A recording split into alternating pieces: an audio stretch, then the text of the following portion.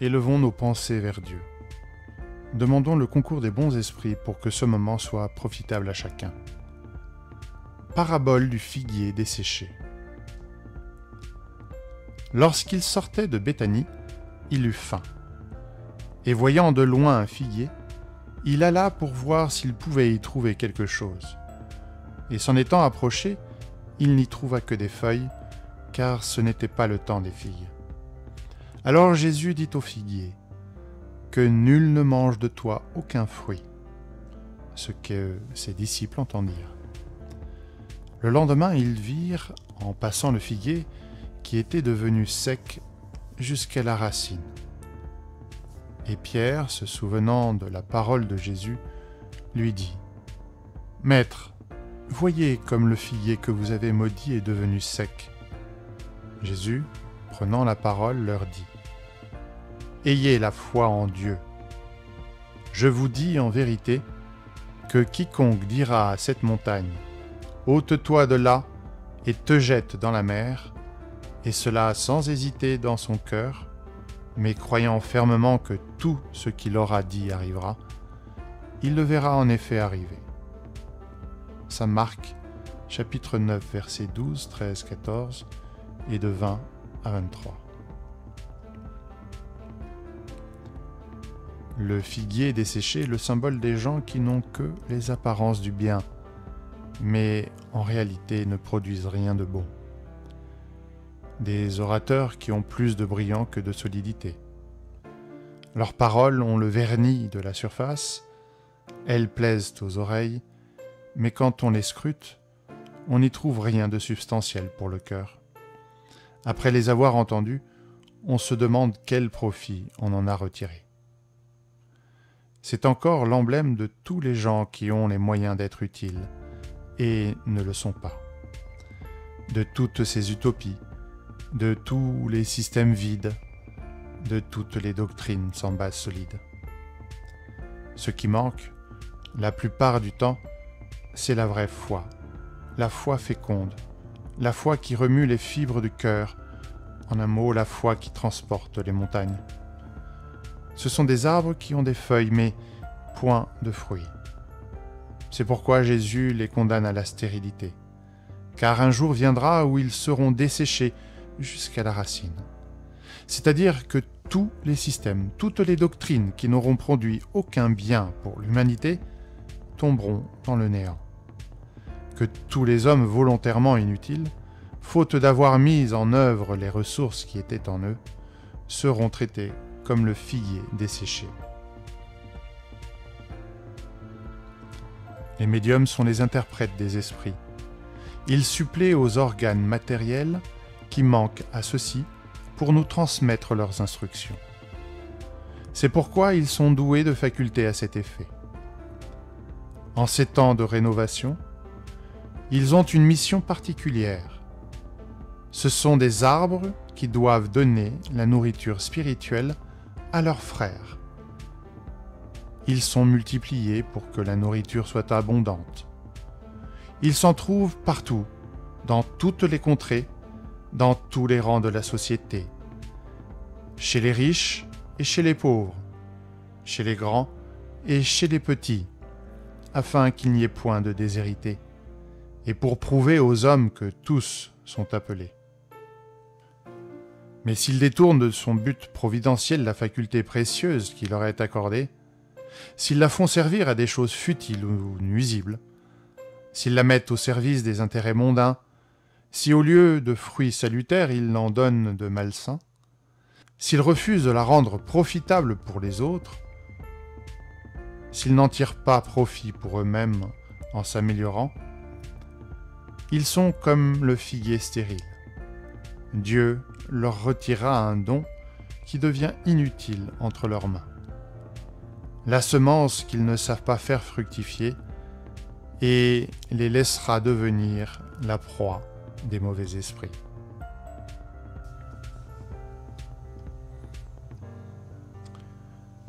Soyons utiles et comprenons comment nous pouvons l'être, comment nous pouvons être à notre place. Notre venue ici sur Terre nous invite à réfléchir à cela. Comment puis-je être utile? Souvent, bon nombre de nos frères ici-bas agissent par intérêt, car ils savent qu'ils vont bénéficier de leur action. Très peu encore, hélas, agissent totalement gratuitement, sans aucune condition, juste parce qu'ils peuvent le faire et parce qu'ils veulent le faire. Alors nous sommes pris entre deux mondes. Dois-je suivre ce que ce monde me montre? Être celui qui prend sans jamais rien donner. Ou alors être à l'écoute de mon cœur et donner sans rien attendre, toujours donner. C'est là que nous devons choisir. Savons-nous écouter notre cœur? Savons-nous révéler notre vraie nature? Celle qui nous invite à suivre la volonté de Dieu, inscrite en chacun de nous.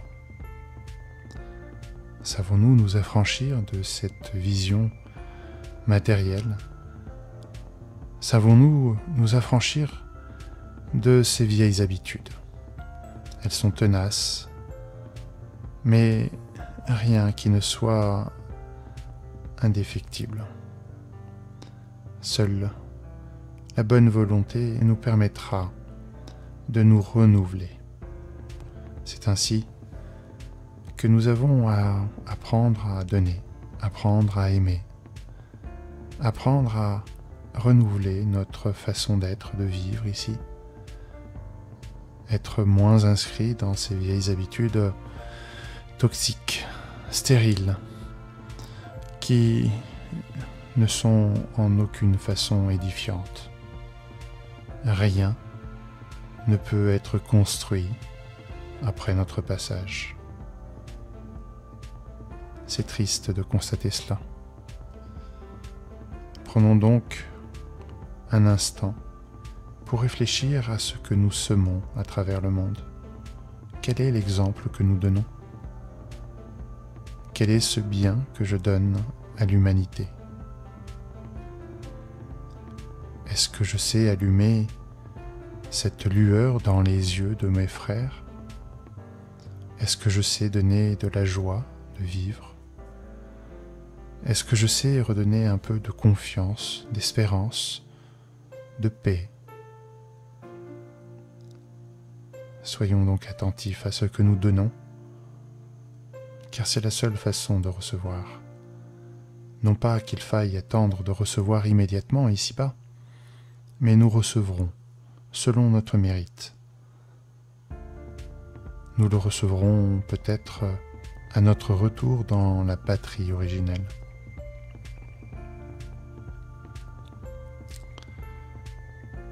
Soyons attentifs à chaque instant, à chaque occasion. Chaque situation de vie nous invite à agir avec notre cœur. Oublions un instant ce profit immédiat.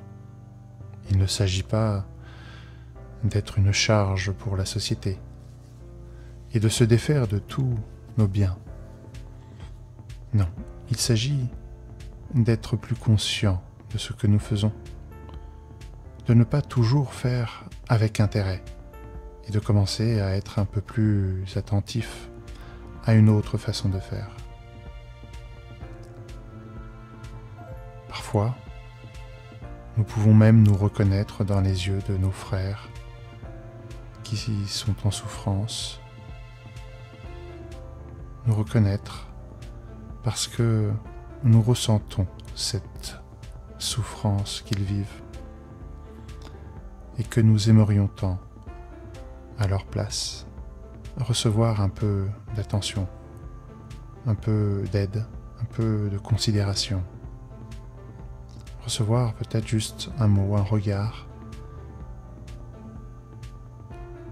cette considération qui fait aujourd'hui que ce monde est si froid, si impersonnel. L'égoïsme et l'indifférence sont ces maladies de l'âme qui rongent notre société. Comment pouvons-nous encore aujourd'hui alimenter notre orgueil de tant de manières. Comment penser qu'on est au-dessus de quiconque? Penser qu'on est plus que l'autre alors qu'on est juste l'égal de l'autre. Nous pouvons vivre aujourd'hui grâce aux efforts de nos ancêtres qui ont pu travailler pour nous, qui nous ont légué tout ce que nous avons reçu en arrivant ici, dans ce monde. Alors, qu'allons-nous donner à notre tour? Pensons à ce que nous donnons et faisons bien la différence entre donner et laisser, car ce n'est pas la même chose. On donne ce qui nous appartient. On ne laisse que ce qui ne peut plus nous intéresser, ce qui nous est plus d'utilité, ou ce que l'on ne peut plus emporter avec nous. Faisons donc cette différence. Savons-nous donner Ou alors laissons-nous Soyons prudents dans nos choix, car comme nous traitons, nous serons traités. Quel est le soin et l'attention que nous donnons à, nos frères?